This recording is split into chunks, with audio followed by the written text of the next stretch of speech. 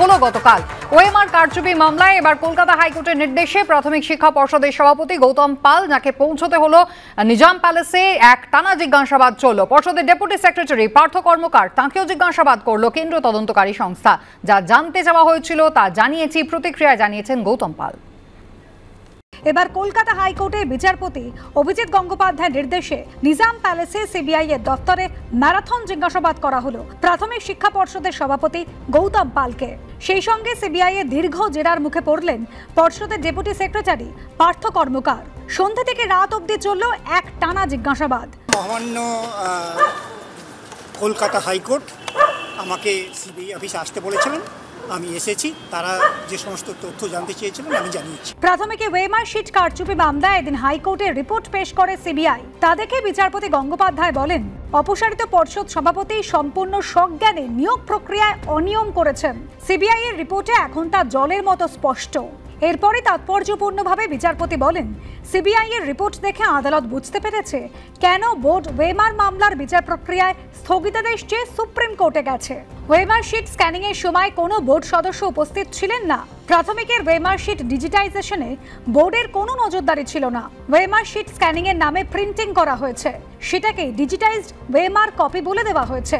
এরপরে বিচারপতি বলেন, পর্ষদের কোনো আধিকারিককে যদি সিবিআই জিজ্ঞাসাবাদ করার প্রয়োজন মনে করে, তাকে জিজ্ঞাসাবাদ করতে পারে এবং তদন্তে সহযোগিতা না করলে, সিবিআই মনে করলে তাদের হেফাজতে নিতে পারেন। এরপরেই সাধারণ মানুষ যখন পুজোর আনন্দে বেটে উঠেছে, প্যান্ডেলে দর্শনার্থীদের ঢল, রাস্তায় আলো রোশনাই, তখন সন্ধে ছটার একটু আগে নিজাম প্যালেসে সিবিআই এর দফতরে হাজিরা দেন প্রাথমিক শিক্ষা পর্ষদের সভাপতি গৌতম পাল এবং পর্ষদের ডেপুটি সেক্রেটারি পার্থ কর্মকার। রাতের দিকে কিছু নথি নিয়ে নিজাম প্যালেসে আসেন পর্ষদের এক আধিকারিক। এই ম্যারাথন জিজ্ঞাসাবাদ থেকে কে উঠে আসে, তারপর তদন্ত কোন পথে এগোয়, সেদিকেই সবার নজর। সৌভিক মজুমদার, পার্থপ্রতিম ঘোষ এবং রঞ্জিত সাহের রিপোর্ট। এবিপি আনন্দ। আমি আলোচনায় আসব। প্রথমেই রাহুলবাবুকে দিয়ে শুরু করব। রাহুলবাবু, এতদিন পর্যন্ত আমরা দেখছিলাম ওই ওএমআর শিট মূল্যায়নকারী সংস্থা। তাদের কি বৈধতা তা নিয়ে প্রশ্ন তুলেছে কলকাতা হাইকোর্ট। কীভাবে এরা বরাত পেয়েছিল তা নিয়ে একাধিক প্রশ্ন রয়েছে। শুধু তাই নয়, এবার তারা নজরদারিতে একটা চূড়ান্ত গাফিলতি করেছে এবং কোথাও পর্ষদকে নিজের দায় এড়াতে পারে? না না পর্ষদ তো এর আগেও ডিক্লারেশন দিয়েছে পর্ষদ এর আগেও কনফেস করেছে পর্ষদ কি বলেছে এর আগেও বারবার বলেছে। আমার বক্তব্য সেটা নয় কুসুমিতা। আমার বক্তব্য যে এই যে লম্বা ম্যারাথন রেস বারবার বলছো না ম্যারাথন জিজ্ঞাসাবাদ চলছে তো ম্যারাথন তদন্ত তো চলছে। এতদিন ধরে একটা জিনিস তদন্ত হয়ে চলেছে হয়ে চলেছে হয়ে চলেছে মানে মানে আউটকামটা কি? আমাদের বক্তব্য হচ্ছে যে কোথাও দাঁড়িয়ে এতগুলো তদন্ত এতদিন ধরে চলছে এই যে প্রলং একটা ইনভেস্টিগেশন চলছে পড়ার আউটকামটা কি? সলভ এর মানে নেট রেজাল্টটা কি? নির্যাসটা কি? আমার তো মনে হয় কিছু কিন্তু নেই। রাহুলবাবু আপনার কোথাও মনে হয় না যে দু হাজার চাকরি প্রার্থীরা দেখবেন দক্ষিণ চব্বিশ পরগনা চাকরি প্রার্থীরা যারা মাঝে মাঝেই আন্দোলন করেন বিক্ষোভ দেখান পথে নামেন তাহলে তাদের এখনও পর্যন্ত নিয়োগ হয়নি। দু হাজার চাকরি প্রার্থীদের নিয়োগ দু হাজার তেইশ সালে হয়নি। আপনার মনে হয় না দুর্নীতির রেঞ্জটাও অনেকটাই বড়? বেশ আমি মানলাম। দুর্নীতির রেঞ্জ যদি বড় হয়ে থাকে তাহলে একদম ফ্যাসলা হোক না। আজকে দাঁড়িয়ে কোথাও দাঁড়িয়ে অন্তত কোথাও একটা চ্যাপ্টার তো ক্লোজ করা হোক। লম্বা একটা প্রলং ইনভেস্টিগেশন চলছে এতে সুবিধা কাদের হচ্ছে? আজকে মনে হয় যদি এটাকে রাজনৈতিক রং দেওয়া হয় তাহলে সবচেয়ে বেশি সুবিধা পাচ্ছে বিরোধীরা। যারা ঘোলা জলে মাছ ধরছে একের পর এক প্রশ্ন করছে এই প্রলং ইনভেস্টিগেশনের বিরোধীদের তাহলে কথা বলার সুযোগ কেন দেওয়া হচ্ছে? বেশ আমি চয়নদের কাছে এই জায়গায় আসব। চয়নদের সত্যিই তো পার্থ চট্টোপাধ্যায়ের বক্তব্য আমরা শুনেছিলাম তিনি বলেছিলেন যে তিনি শিক্ষামন্ত্রী ছিলেন বটে নিয়োগের দায়িত্ব তার ছিল না। শিক্ষা দপ্তরের যিনি সচিব তিনি পাঠিয়ে দিতেন সিএমওতে এবং সেখান থেকে সেই নিয়োগ প্রক্রিয়া সেই হিসাবে চ্যানেলাইজড হতো। অর্থাৎ দায় শিক্ষা দফতরের নয়, দায় তৃণমূল কংগ্রেস বলতে চায় পর্ষদেরও নয় শাসক দলের তো নয়। তাহলে দায়টা কার? যারা পথে বসে রয়েছে তাদের। দেখুন তৃণমূল কংগ্রেস কাকে দায়ী করছে সেটা তো বড় কথা নয়। আপনার এই এবিপি আনন্দ সংগঠনিতভাবে যদি কোনো একটা বিষয়ের বিতর্ক হয়ে পড়ে, ধরুন সেটা ঘটনাচক্রে আপনি সামনে ছিলেন। আপনার উপর তো দায় চাপে না। দায়িত্ব চাপে সংগঠিতভাবে এই সংগঠন সংস্থার উপরে। এইখানে কালেকটিভ রেসপন্সিবিলিটির কথা একসময় ফিরাদ হাকিম বলেছিলেন। তারপর ব্যাপারটা চাপা পড়ে যায়। কিন্তু এই জামিনের শুনানির সময় পার্থ চট্টোপাধ্যায় একাধিকবার ওই সিএমওর কথা বলেন যেগুলো আপনি বললেন। তার মানে তো কালেক্টিভ রেসপন্সিবিলিটি রয়েছে এই সরকার দায়ী। শাসক দল কীভাবে ব্যাখ্যা করছে সেটা শাসক দলের বিষয় কারণ শাসক দল সরকারে আছে তারা যে এই বিষয়টা কাঁধে নেবে সেটা আমরা এক্সপেক্ট করি না। কিন্তু আমাদের বক্তব্য যে তদন্ত এটা রাহুলের সঙ্গে আমি একমত যে তদন্তের নামে প্রলং প্রসেস কদিন চলবে মাথা ধরবে কবে? মাথা ধরা হোক এইভাবে বিচ্ছিন্নভাবে সবাইকে ডেকে ডেকে আমি মাথা ধরার প্রসঙ্গে অবশ্যই সমীর কাছে আসব তবে তার আগে আমি একবার সলিল বাবুর কাছে যাব। সলিল বাবু একটা ওএমআর শিট যেখানে সব থেকে গুরুত্বপূর্ণ এই নিয়োগের ক্ষেত্রে সেই ওএমআর শিটের ক্ষেত্রে সমস্যাটা তৈরি হলো যে ওএমআর শিট কারা তৈরি করল? ওএমআর শিট মূল্যায়ন কারা করল? তারা বরাত কীভাবে পেল? তারা শুধুমাত্র ভালো কাজ করে সেই নিরিখেই পর্ষদ তাদেরকে বরাত দিয়ে দিল। পর্ষদকে এই এখতিয়ার? এত ক্ষমতা কারা দিয়েছে? আর যদি পর্ষদ সেটাও করল, তাহলে ফাইনালি নজরদারিটা কেন তারা করল না? পুরোটাই কি উদ্দেশ্য প্রণোদিত? দেখো, এটা কিন্তু পরিষ্কার বোঝা যাচ্ছে পর্ষদ is in league with the মূল্যায়নকারী সংস্থা এস বসুরায়ন কোম্পানি যাতে programming officer Partha Sen arrest হয়েছে এবং এর যে কর্ণধার কৌশিক মাঝিও অ্যারেস্ট হয়েছে। তারা ডিফারেন্ট টাইমে ডিফারেন্ট স্টেটমেন্ট করেছে এবং তারা পরিষ্কার বোঝা গেছে বল- বলেছে এটা ডিজিটালাইজড যে কপিটা সেটা কিন্তু প্রমাণিত হয়ে গেছে ওটা ডিজিটাল ডিজিটালাইজড নয় ওটা টাইপড কপি এবং স্বীকার করেছে পার্থ সেন যে প্রোগ্রামিং অফিসার সে স্বীকার করেছে যে হ্যাঁ এটাও ম্যানিপুলেট করেছে। তাহলে ম্যানিপুলেশন হয়েছে। তাহলে ম্যানিপুলেশন যদি হয়ে থাকে উইদাউট ইনভলভমেন্ট অফ দি পর্ষদ সেটা সম্ভব নয়। যার জন্য সিবিআই কোর্ট মনিটর হচ্ছে। রাহুল যেমন বলল যে তদন্ত চলছে বা- অনির্দিষ্টকালের জন্য। আরে এটা তো কোর্ট মনিটরিং তুমি তো তুমি তো আর এটা রাহুলকে আমি বলছি এটা তো কোর্ট মনিটরিং এটা let let this be decided by the honourable high court এবং খালি তাই না এটা মারাত্মক একটা রিপোর্ট দিয়েছে যদি পর্ষদের বর্তমান সভাপতি এবং তার যে পার্থ কর্মকার যে ডেপুটি সেক্রেটারি তাদের দুজনকে জিজ্ঞাসাবাদ করতে হবে। What was the role of the erstwhile president of পর্ষদ এবং অন্যান্য মানিক ভট্টাচার্য তার সেটাকে ফিক্স আপ করতে হবে এবং যদি যদি- এরা সহযোগিতা না করে they should be taken into custodian inter custodian intervention করতে একদম। আর ঠিক এই জায়গায় আমি সমীক্ষাদির কাছে আসব। সমীক্ষাদি এখানে একটা বক্তব্য তৃণমূল কংগ্রেসের পক্ষ থেকে উঠে আসছে যে বর্তমান পর্ষদ সভাপতিকে যেন অকারণে হ্যারাস করা না হয়। যিনি করেছেন তিনি তো প্রাক্তন। তাহলে এখন বর্তমানকে কেন জিজ্ঞাসাবাদ করা হচ্ছে? এই একটা প্রশ্ন কিন্তু তৃণমূল কংগ্রেস তুলছে। দেখুন আমি প্রথমে আপনাদের এবিপি আনন্দের সমস্ত সদস্যকে জানাই শারদীয়া শুভেচ্ছা এবং আপনাদের যত ভিউজ আছে ভিউয়ার্স আছে সবাইকেই জানাই আমি শারদীয়া শুভেচ্ছা। আগামী দিনগুলো সবার ভালো কাটুক। দেখুন এই দু হাজার বাইশের আশ্বিনের শারদপ্রাতেও কিন্তু আমরা এই নিয়ে আলোচনা করেছিলাম। আজকে কিন্তু তেইশেও আমরা এই নিয়ে আলোচনা করছি। ছেলে মেয়েগুলো রাস্তায় বসে আছে। যত ছাড়াচ্ছে পেঁয়াজের খোসার মতো এক্ষুনি রাহুলদা বলছিলেন যে কবে এটার আউটকাম আসবে? কি করে আসবে রাহুলদা? আজকে দু হাজার এগারো থেকে তেইশ এই বারো তেরো বছর ধরে যে দু- ব্যাপক দুর্নীতি হয়েছে আজকে প্রত্যেকটা আজকে ইডি সিবিআই ছিল বলেই কিন্তু শিক্ষামন্ত্রী থেকে পর্ষদ সভাপতি থেকে শুরু করে উপাচার্য থেকে শুরু করে সবাই কিন্তু আজকে জেলে। আজকে ইডি সিবিআই ছিল বলেই কিন্তু ওএমআর শিট যে লক্ষ লক্ষ ওএমআর শিট যে আজকে পোড়ানো হয়েছে ডেস্ট্রয় হয়েছে আমরা কিন্তু যেগুলো এই প্রশ্নটাও তো উঠবে যে কেন্দ্রীয় তদন্তকারী সংস্থাকে প্রতিদিন আদালতে কেন ভৎসনার শিকার হতে হচ্ছে? এর আগে আমরা দেখেছিলাম সিট ভেঙে দিয়েছিলেন মাননীয় বিচারপতি আর এবার সিটকে তিনি পুনর্গঠন করেছেন, যেখানে আরেকজন অফিসারকে যোগ করা হয়েছে এবং তার নামটাও তিনি নির্দিষ্ট করে দিয়েছেন। দিল্লি সিবিআই অ্যান্টি করাপশন ব্রাঞ্চের আধিকারিক স্নেহাংশু বিশ্বাস, অর্থাৎ আরও বেশি শক্তি বাড়ানো হচ্ছে যাতে আরও তদন্ত গতিপ্রাপ্ত হয়। দেখুন কোর্ট মনিটরিংয়ে এ যে তদন্তটা চলছে সেখানে তারা কীভাবে তারা গঠন করবে তাদের সেই তদন্ত কমিটি সেটা সম্পূর্ণ তাদের ব্যাপার সেখানে কিন্তু আমাদের বলার কিছু থাকে না। কিন্তু আমরা দেখছি ইডি সিবিআই কিন্তু প্রতিনিয়ত চেষ্টা করে যাচ্ছে। এবং তারা কিন্তু রাঘব বোয়ালদের কিন্তু ধরছে। প্রত্যেক দিন আপনি দেখবেন কেউ না কেউ ধরা পড়ছে। মিলেছে এই প্রশ্ন তারা ধরা পড়ছে? কিন্তু রাহুল দা সত্যিই তো তৃণমূল কংগ্রেসের একটা বলার জায়গা বা শাসক দলের একটা বলার জায়গা তো নিঃসন্দেহে তৈরি হয়েছে যে কোথাও আহ, বারবার সিবিআই এবং এটিকে ভৎসনার শিকার হতে হচ্ছে। কিন্তু যেভাবে শক্তি বৃদ্ধি করা হচ্ছে এবং কোর্ট মনিটর তদন্ত যেভাবে গত কয়েকদিন ধরে আমরা দেখছি হুড়ুর করে এগোচ্ছে। কোথাও সেটা একটা চিন্তার ভাঁজ ফেলবে না তো? কুসুমিতা তোমার কি মনে হয় না যে যখন বিচারপতিরা প্রশ্ন করছে যে এতে কন্টেন্ট কোথায় তোমরা যে পড়ছো তার কোনো প্রমাণ আছে কিনা? তার কোনো তথ্য আছে কিনা? ইনফরমেশন আছে কিনা? কেন বারবার ভুল হচ্ছে? কখনো সিট ভেঙে দেওয়া হচ্ছে? কখনো আধিকারিককে পাল্টে দেওয়া হচ্ছে? কখনো তাদের বদলি করে দেওয়া হচ্ছে? তার মানে কোথাও বিচারপতি বা বিচার ব্যবস্থা সন্তুষ্ট হতে পারছেন না ইনভেস্টিগেশনে তার মানে কি? আমি যদি মানে উল্টো প্রশ্ন করি? কথা বলি।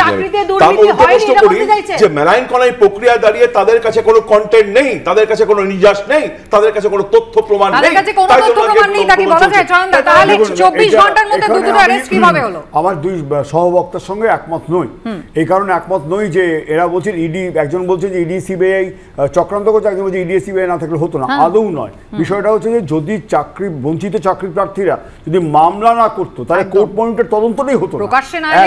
দুই যেটা সেটা হচ্ছে যে নির্দিষ্টভাবে বলে রাখা দরকার এরা সাধারণ মানুষের একটা অংশ তাদের পক্ষ থেকে বঞ্চনার বিরুদ্ধে তারা দুর্নীতির বিরুদ্ধে তারা মামলা করেছে মামলা করেছে বলে দুর্নীতির বিরুদ্ধে তদন্ত হচ্ছে যে অবজারভেশনগুলো উঠে আসছে তাতে যথেষ্ট সন্দেহের অবকাশ আছে যে আদৌ এইটা কি ট্যাম্পারিং করার চেষ্টা হচ্ছে নাকি হ্যাঁ। তদন্ত থামাতে বা দেওয়ার চেষ্টা করছে একটা অংশ এবং করছে অংশ সেটা করছে শাসন দল অবশ্যই তদন্ত থামাতে বা দেওয়ার অংশ। করছে, দুই- শাসন দল। বাবা দুই একটা পরিষ্কার কথা তদন্তকারী দেখতে পাচ্ছি। করছে, চয়ন বেশ করছে। বেশ বেশ কোথায়? একদম। একশো কোটি টাকারও বেশি দুর্নীতি হয়েছে। কুন্তল ঘোষকে জামিন দিলে প্রভাবিত হতে পারে তদন্ত। নিয়োগ দুর্নীতি কাণ্ডে নিম্ন আদালতে এই দাবি করেছে ইডি। আর অন্যদিকে কুন্তল ঘোষের মামলা সিঙ্গেল বেঞ্চে ফেরত পাঠিয়ে দিয়েছে ডিভিশন বেঞ্চ। তদন্তকারী সংস্থার হেফাজতে অত্যাচারের অভিযোগ মিথ্যা হতেই পারে কিন্তু সেটাও খতিয়ে দেখা উচিত। মন্তব্য কলকাতা হাইকোর্টের।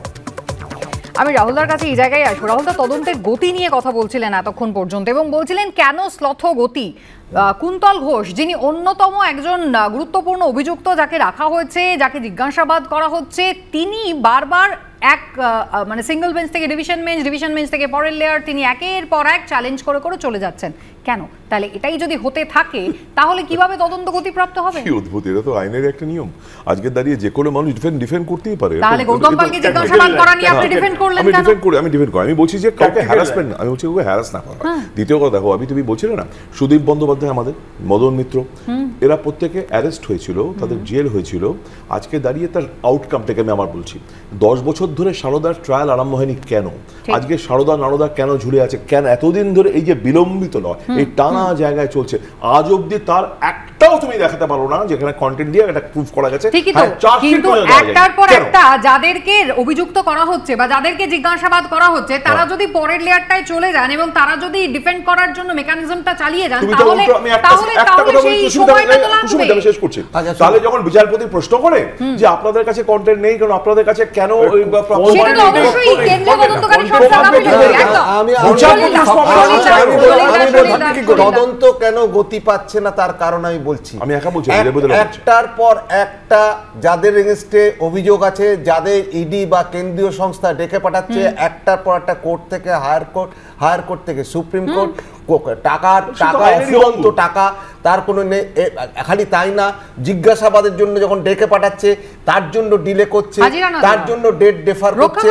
একটার পর একটা কুন্তল ঘোষ কুন্তল ঘোষ যার যার এগেস্টে প্রাইমা ফেসিলি চার্জ একটা পার্টে চার্জশিট অলরেডি সাবমিট হয়ে গেছে। একটা অভিযোগ আনলো মিথ্যে অভিযোগ আনলো যেটা যেটা শহীদ মিনারের ময়দানে অভিষেক ব্যানার্জি বললেন বলার পরেই তারপরে ও বলল কুন্তল ঘোষ বলল যে হ্যাঁ আমাকে জোর করে বলানো হচ্ছে হ্যাঁ। আমাকে এক্সটর্ট করছে কনফেশন আমার থেকে তার জন্য আবার একটা আদালত থেকে আর একটা আদালত আবার ব্যাক করল লোয়ার কোর্টে এরকম ভাবে তো ডিলে হচ্ছে?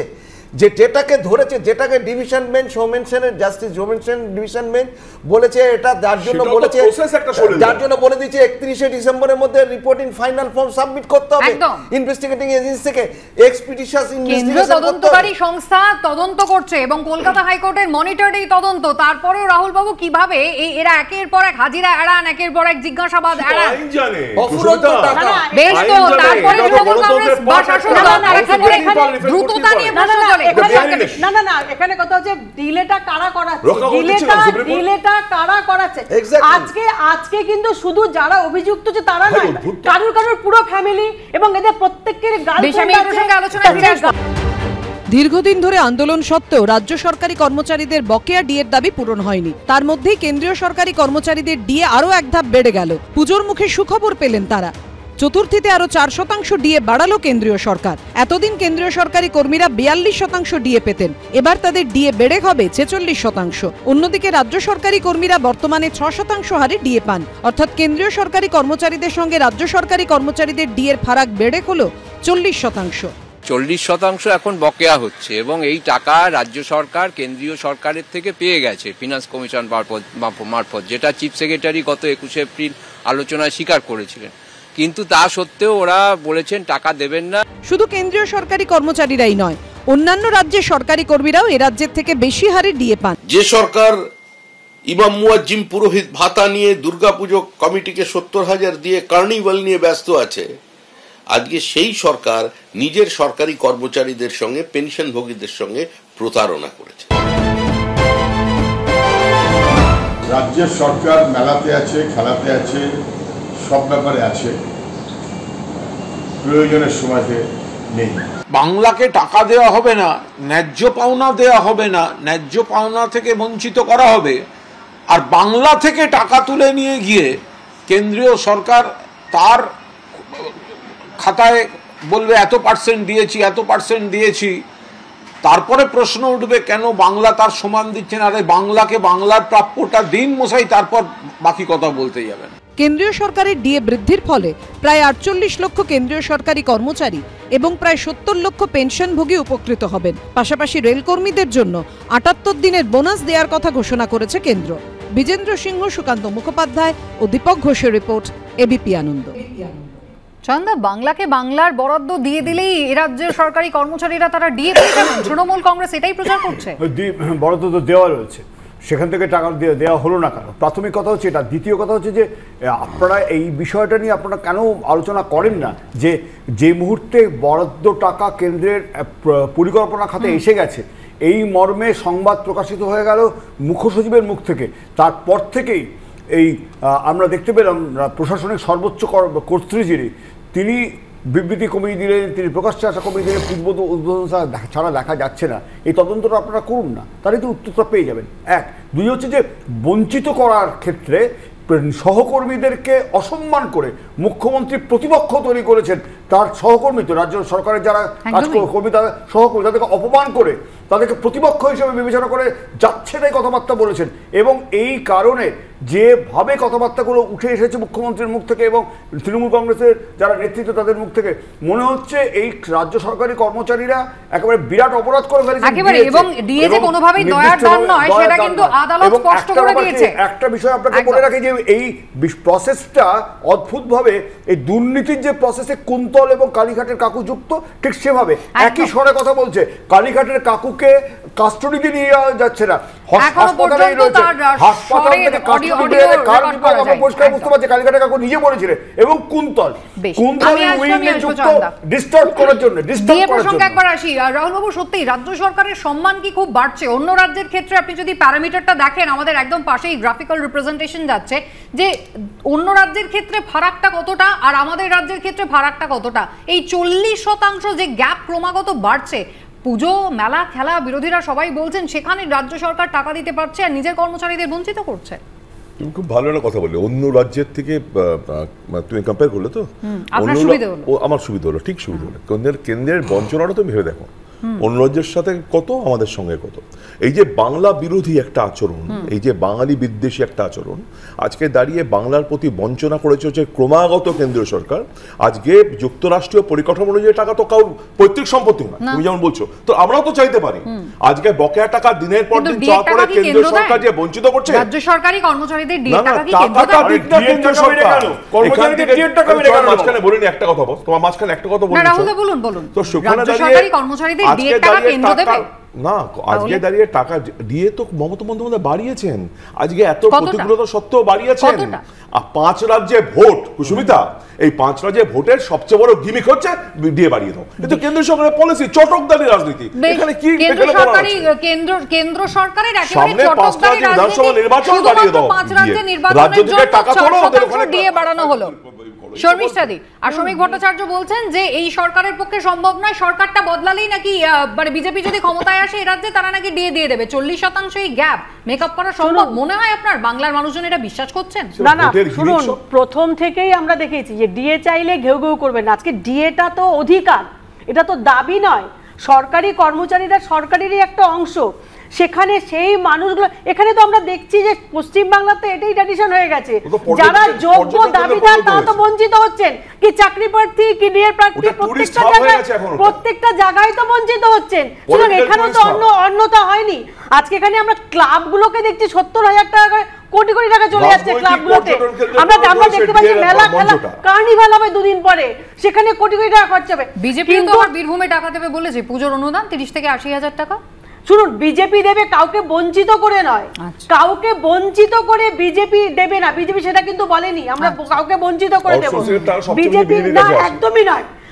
আমাদের আমাদের স্লোগানই সবকা সাথ সবকা বিকাশ। হ্যাঁ, আমরা কাউকে বাদ বিকাশ, দিয়ে- আমাদের- মন্ত্রী বার্তা পৌঁছে দিতে চাইছে বিজেপি। সলিল দা আমি আমি দেখো ডি এর টাকা ফর্টি পার্সেন্ট ডিফারেন্স এখনও পর্যন্ত। এক নম্বর।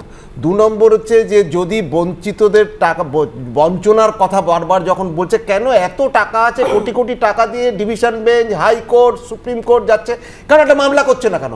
তো সেই আদায়টা করে নিক অডিট রিপোর্টটা পাঠা সেগুলো করে সেগুলোর তার সঙ্গে ডিএর কি সম্পর্ক আছে?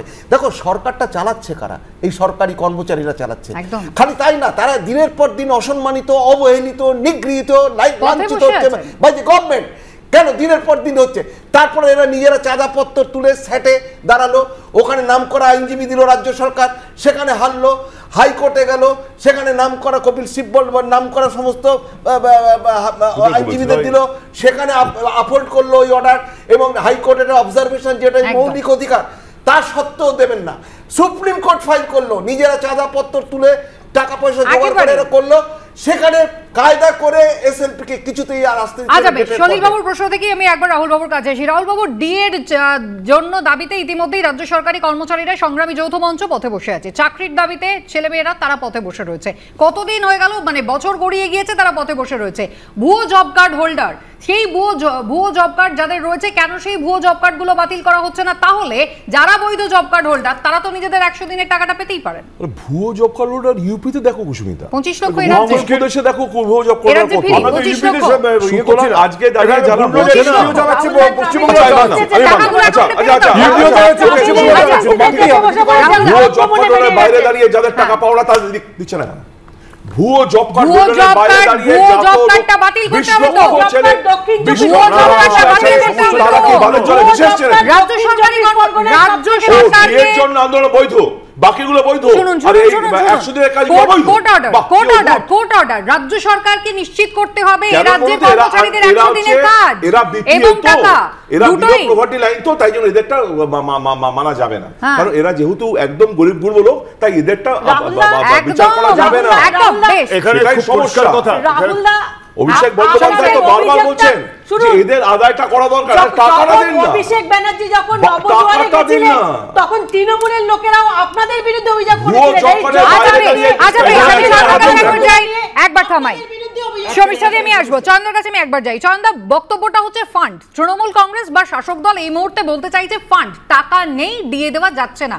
ভুয়ো জব কার্ড যদি বাতিল করা হয় অ্যাকাউন্টে যদি টাকা ফিরে আসে তাহলে রাফলি একটা অ্যামাউন্ট তো রোজগার করতেই পারে রাজ্য সরকার। কারণ এই ভুয়ো জব কার্ডগুলো হয়েছিল তো এই তৃণমূল সরকারের আমলে। বাতিল করার দায়িত্ব তো রাজ্য সরকারের পুলিশের। এখানে খুব পরিষ্কার কথা। এখানে আমি প্রসঙ্গটা আমি আনছি কারণ এবিপি আনন্দ শো করেছিল এটা নিয়ে।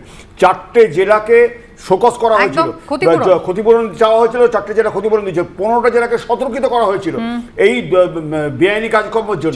তারপরে তারপরে আমি তো বারবার বলছি যে গ্রামোন্নয়ন দপ্তর যথাযথ ব্যবস্থা নিলে টাকা চারটে জেলা ব্যবস্থা বাদ করা করো, উচিত তার ছিল। বাইরেটা বলো না। উচিত ছিল। দক্ষিণ সেটাই তো বলছি চব্বিশ চার আর পরগনা পনেরো, সবথেকে বেশি। উনিশটা জেলা, দক্ষিণ চব্বিশ উনিশটা জেলা পরগনা দুর্নীতি আছে। সবথেকে বেশি। গ্রামোন্নয়ন দপ্তর যথাযথ ব্যবস্থা নিলে- কথা বলছি যথাযথ ব্যবস্থা নেওয়া উচিত ছিল। উচিত ছিল। কোনো সমর্থন সেই করো না। সেই আমার কথা সমর্থন শুনতে পাচ্ছ সেই সেই ভুয়ো জব আমি তো কার্ডটা সেই গ্রামোন্নয়ন সেই দপ্তরে- দুর্নীতিটা খোলসা করবে কারা? সলিলদা সেই দুর্নীতি খোলসা করবে কারা? রাজ্য সরকারেরই তো কর্তব্য প্রশাসন না, না, করবে তো। না, না, না, না, আসি, ভুয়ো- আসি, আসি, আসি, আসি। ভুয়ো জব কার্ডের জন্য যে টাকাটা ফেরত পাওয়ার কথা হ্যাঁ। সেই টাকাটা নিয়েও দুর্নীতি হয়েছে। সেই টাকাটা নিয়েও একশো দিনের কাজের বকেয়া টাকা থেকে লোকসভা এলাকার উন্নয়ন, বিভিন্ন ইস্যুতে বিজেপি নেতৃত্বকে চ্যালেঞ্জ করলেন অভিষেক বন্দ্যোপাধ্যায়। এ নিয়ে তাকে পাল্টা জবাব দিতে দেরি করেনি গেরুয়া শিবিরও।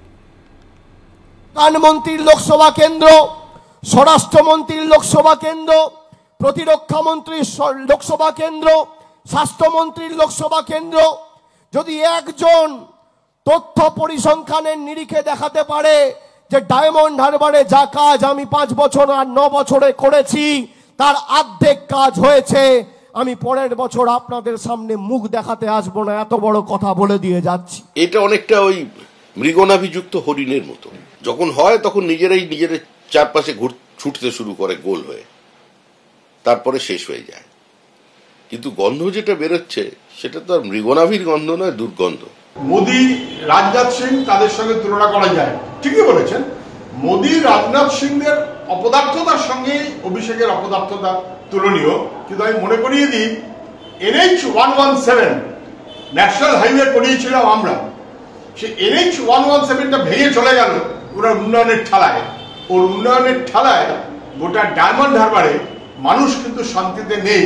রাহুল দেব রাজ্যের উন্নয়ন হয়েছে, সে তো নিঃসন্দেহে রাজ্যবাসী উপকৃত হয়েছেন, তারা কৃতিত্ব দেবেন। এবং এতদিন পর্যন্ত আমরা দেখেছি যতগুলো নির্বাচন হয়েছে, একেবারে তৃণমূল কংগ্রেসের জয় জয়কার। অত্যন্ত ভালো ব্যাপার। কিন্তু অভিষেক বন্দ্যোপাধ্যায় এই যে একশো দিনের কাজের টাকার দাবিতে আবার পয়লা নভেম্বর থেকে বলছেন, আন্দোলন আরও জোরদার হবে। পাশাপাশি আবার এটাও বলে রাখছেন যে, যদি কেন্দ্র টাকা না দেয়, তাহলে মমতা বন্দ্যোপাধ্যায় সরকার টাকা দিয়ে দেবে। তাহলে এই আন্দোলনটার কি প্রয়োজন? সেই গরিব গুর্ব মানুষগুলোকে পাশে বসিয়ে? না না, প্রথম কথা হচ্ছে যে, গরিব গুরু মানুষের আমাদের দেখো, আমাদের প্রথম কথা হচ্ছে ডিএ নিয়ে আমরা এত কথা বলি। যে যারা বসে আছে তাদের প্রতি আমাদের সম্পূর্ণ সহানুভূতি আছে। তাদের নিয়ে বলি কই এই মানুষদের জন্য তো কারোর কোনো সহানুভূতি নেই। কেন থাকবে? এই মানুষদের জন্য তো কেউ একবার দাবি করছে না। এই মানুষদের জন্য তো বলা হচ্ছে না কারণ তারা গরিব গুরু বলে তারা বেরো প্রভার্টি লাইনে বলে।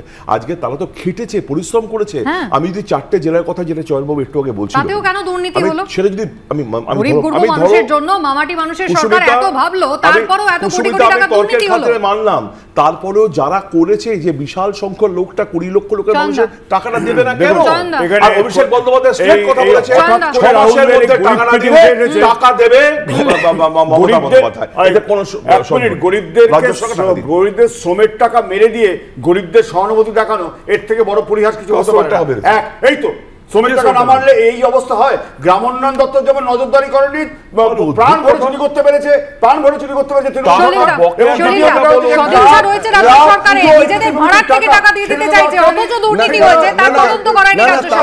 তার মানে মানে কেন্দ্রীয় সরকার যদি টাকা না দেয় রাজ্য সরকার টাকা দিয়ে দেবে তার মানে রাজ্য সরকার টাকা আছে টাকা আছে তো দেবে, আছে তো। সবার সমান কি করতে দিচ্ছে? দিচ্ছে না কেন? ডায়মন্ড হারবার? মডেল আমরা দেখেছি আমরা ডায়মন্ড হারবার মডেল আমরা সবাই দেখেছি।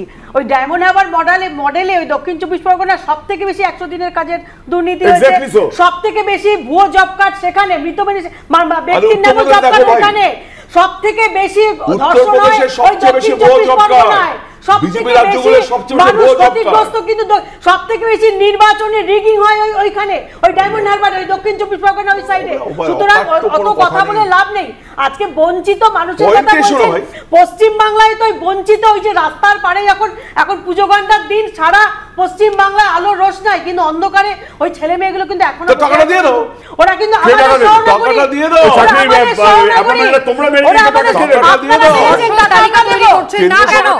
দাও। দাও। রাহুল বাবু রাহুল বাবু ওই ছেলে মেয়েগুলোকে তো পথে বসতে হয় না। তা পর্ষদ নিজেদের একটা যথাযোগ্য তালিকা তৈরি করে দিই কলকাতা হাইকোর্ট তো বলছে নিয়োগে তো তাদের সম্মতি রয়েছে। আদালতকে তো ভগবান বানিয়ে দিয়েছে। বা ভগবানের মতো যারা যাকে বিশ্বাস করছে তাকে বলুন তৃণমূল ভগবান কংগ্রেস তো না, মানে আরে তাই আদালত বারবার আরে চুরির টাকা ফেরাতে হবে বারবার বলে চুরির টাকা আছে বলে তুমি আছো। দুর্নীতির টাকা ফেরাতে হবে বলে চাকরি দেওয়া হচ্ছে না। আশ্চর্য, আদালত যদি দুর্নীতির টাকা ফেরাতে হবে বলে তো চাকরি দেওয়া হচ্ছে না। যারা টাকা দিয়ে চাকরি কিনেছে তারা টাকা যে আমার সেখানে রাজ্য সরকার